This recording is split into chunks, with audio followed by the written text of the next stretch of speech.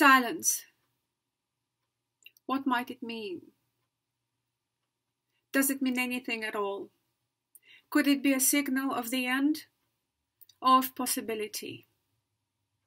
A hand extended, as John Berger once said? Or is it a silence of despair?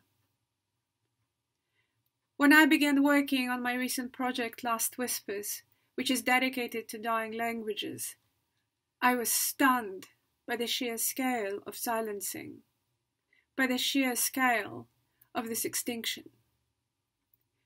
Every two weeks, the world is losing a language. Out of 7,000 languages spoken on Earth today, at least half will have fallen silent by the middle of the century. Some predict a far more radical future or rather lack thereof, for the world linguistic diversity. At an unprecedented speed, faster than the extinction of most species, we're losing the variousness of the very tools and the very means by which we know ourselves, by which we describe the world and ourselves in it. Many of these languages, having never been recorded, are vanishing without a trace. Humanity is losing the knowledge, the variety of worldviews, the cosmologies that indigenous communities have for centuries encoded in these languages and cultures. Let there be no doubt, this is a mass extinction. By definition, it occurs in silence because silence is the very form it takes. How can one address such an extinction? An obvious answer is to make what has gone silent sound, what has disappeared appear. I wanted to make what has vanished felt genuinely present, making what has gone silent feel alive and understood on the most visceral level.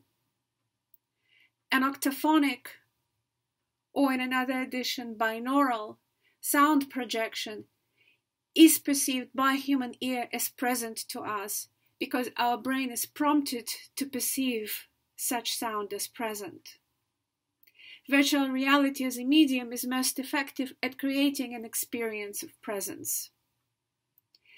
This aspect is at the very core of the medium, and thus VR was perfect for the task of evoking presence in order to describe loss.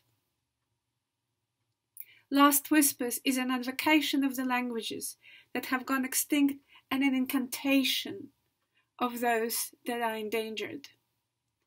Yet it's not a requiem, it's a lyrical poem. My team, sound designer Mark Mangini, animator Amanda Tasse, emblematic group VR engineers and its founder Nonny de la Peña wanted to address the issue of language extinction but also communicate our wonder, the wonder at an extraordinary diversity of the human global chorus, at how amazingly varied is our human capacity for the first and foundational creative act, the act of language. My name is Lena Herzog. I'm the author, director, and producer of Last Whispers, an immersive oratorio for vanishing voices collapsing universes, and a falling tree.